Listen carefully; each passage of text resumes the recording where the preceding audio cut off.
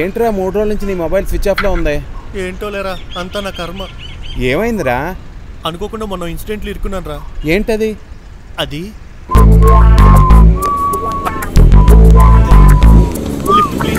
ఎక్కడికి వెళ్ళాలి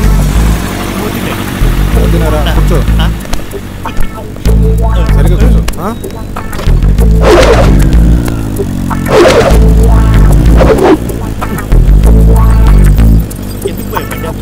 ఏం లేదు కాసేపు నువ్వు ట్రై చేస్తావా? డ్రైవింగ్ అంటే పిచ్చిస్తున్నాయి దా.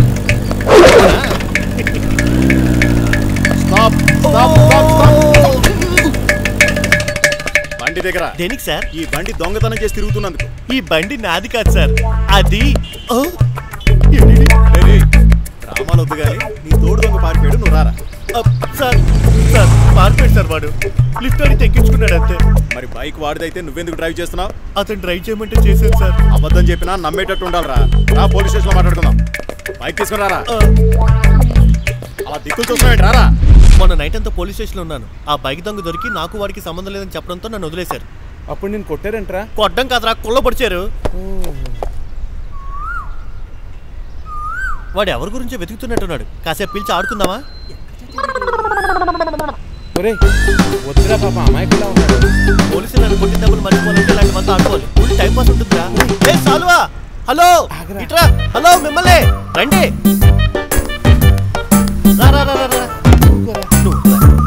ఏంటి? ఎవరిని వెతుకుతున్నావు ఇక్కడ బాలు అంటే ఎవరండి? నేనే. ఏం కావాలి? అమ్మో, అమ్మో, ఆపండి ఏంటి అలా కొడుతున్నారండి? రోజు మా ఆవిడ ఫోన్ చేసి ఇక్కడ ఇక్కడ అంటున్నాడండి. మీకు విషయం చెప్పనా? ఆడి పేరు బల్బు బాబ్జీ కాదు చంటి. బ్రదర్ది ఇందాక నేను బాలు బాబ్జీ ఎవరు అంటే నేనే అని అంటున్నాడు. ఏదో ఊర్లో అన్నాడు లేవయ్యా వెళ్ళా ఇలాంటి ఎక్కసెక్కాలు మాడు పగిలిపోతాయి. నువ్వుని. మారవరా నువ్వు ఎప్పుడు ఎవడో కెలుగుతుంటావు నేను మారను రా నా క్యారెక్టర్ ఎంత అలాగే.